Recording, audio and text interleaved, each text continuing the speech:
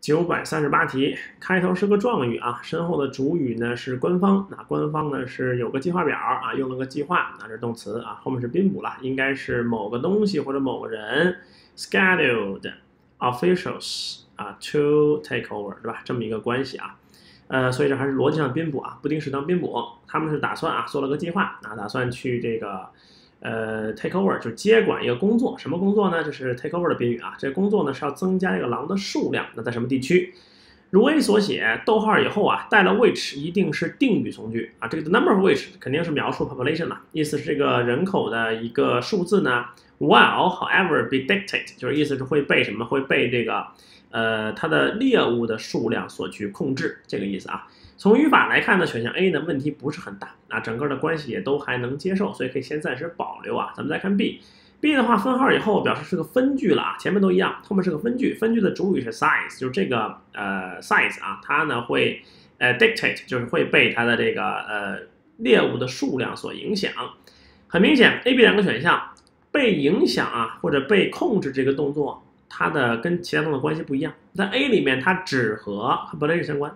啊，其实和这个 schedule 都没关系，而在二 B 里面，分号表示两者属于是一个分句关系嘛，啊，两者算是个并列句啊，等于前后两者用 however 转折嘛，那是个并列的关系。很明显啊，前面是说呢，这帮人呢打算去接管这工作，后面其实应该是说啊，但是其实没用，对吧？你人去接管是没有用的，因为这个 size 最终不是被人控制的，你人说增长也没有用。主要是被它的猎物数量控制，这个意思。所以呢，前后两句话啊，应该是形成转折的关系。所以相当于就是这个 dictate 这个动作跟 take over 啊，这个这整个这个动作明显是具有一个啊这个转折的关系的，是两个动作有关。而 A 的话只跟名词这个人口有关了啊，跟前面动作都没关了，肯定不对。啊，这 however 本身也是应该转折的是两个动作的转折嘛，对吧？所以这个 A 肯定不对啊。这里面的 however 是个副词啊。呃，转折意思啊，跟 there for 什么都是副词啊，表示的是转折关系。所以说这里面只有二 B 选项能表达出两个动作转折啊，而 A 只能表示它是跟名词相关，跟动作无关的，所以这关系不对了啊。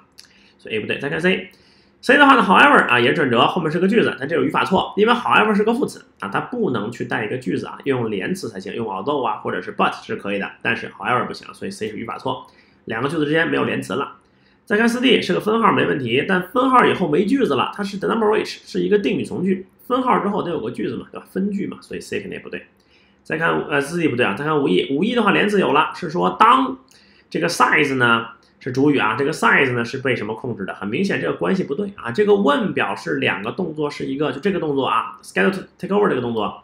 和这个 dictate 的动作形成了一个时间关系了，这很明显，两个动作它不能是时间关系吧？后面是一个现象嘛，对吧？是转折关系啊，时间关系肯定不对，所以 E 不对啊，关系不对，所以答案是二 B 选项。